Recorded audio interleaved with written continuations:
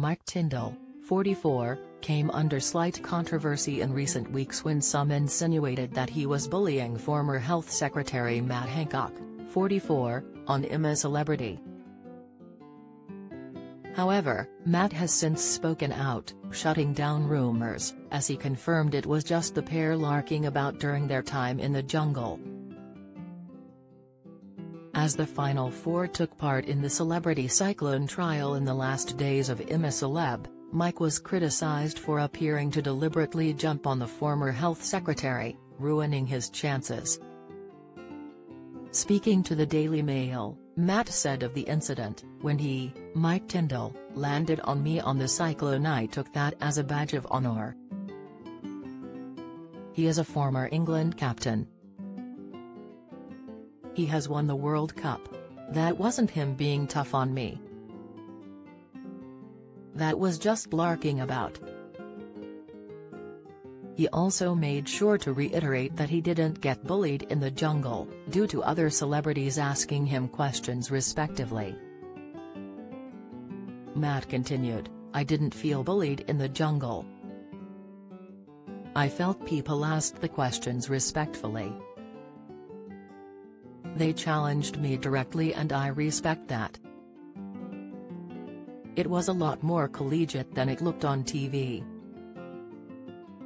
Mike even insisted during his time in the jungle that Matt was polling for votes in a bid to win the show, as the former health secretary placed his name-printed clothing in a shot of the cameras.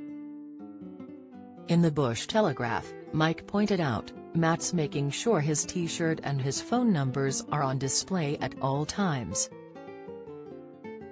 Matt clearly wants to win. Later in camp, the Royal decided to sabotage Matt's plan by turning his jumper over. He added in the Bush Telegraph, I'm taking great pleasure in turning it around every time he leaves camp. Mike shared the ploy with Seann Walsh, asking him, have you noticed someone's been advertising themselves? Matt's been putting all his stuff with Matt and the phone number pointing at cameras. Mike added, once a politician, always a politician. Always polling for votes. Matt's position on the show was hit with heavy criticism just weeks ago as he was named as a late arrival on the ITV show. This was due to Matt's handling of the COVID pandemic as the health secretary and his having to step down after breaking social distancing rules in the House of Commons with his now girlfriend, Gina Colangelo.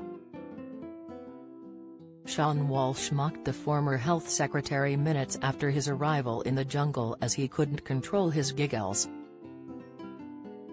After seeing the MP, Seann could not contain his laughter and blatantly continued to laugh in the MP's face throughout their first encounter. Seann held his hands to his face as he giggled, before stopping to laugh to quip, Hey, how's it going? The pair then hugged before Seann continued to laugh at the former health secretary. Speaking in the Mole headquarters, Seann quipped, Matt Hahn. Laughs. I can't. Matt Hahn. Laughs.